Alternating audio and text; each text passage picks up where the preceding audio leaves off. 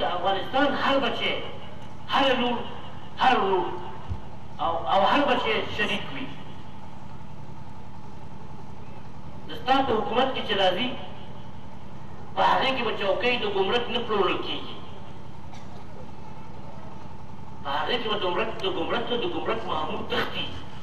وايي به کار مې ډېر دی او معاش مې کم دی او لاس مې تړلی دی، زه رشوت نه شم اخیستی، په هغه کې به د قضا نه خلک تښتي. په هغې کې به د ښاروالۍ نه خلک تښتي په هغې کې به معلمۍ ته خلک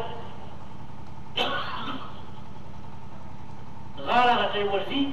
او وایي به چې زه دا معلمي کوم ځکه خدمت هم کوم او معاش یې معقول دی دا اخلم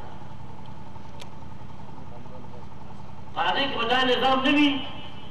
چې ته به د حکومت څخه وېرېږي بلکې حکومت به د ستا خادم وي تا به ساتي